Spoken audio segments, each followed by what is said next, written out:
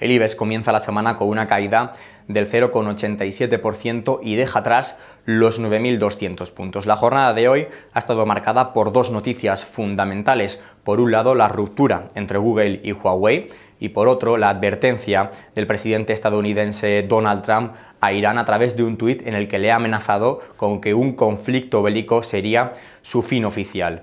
El resto de bolsas europeas han cotizado con pérdidas mayores que las del selectivo español, excepto Londres, que ha perdido solo medio punto porcentual.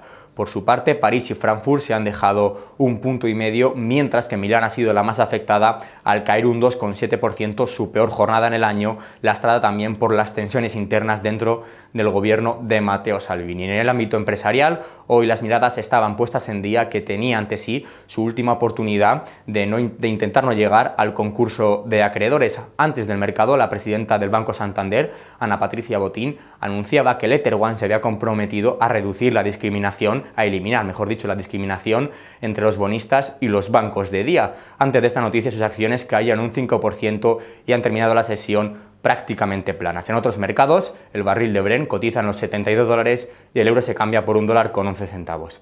Pueden seguir informados en bolsamania.com.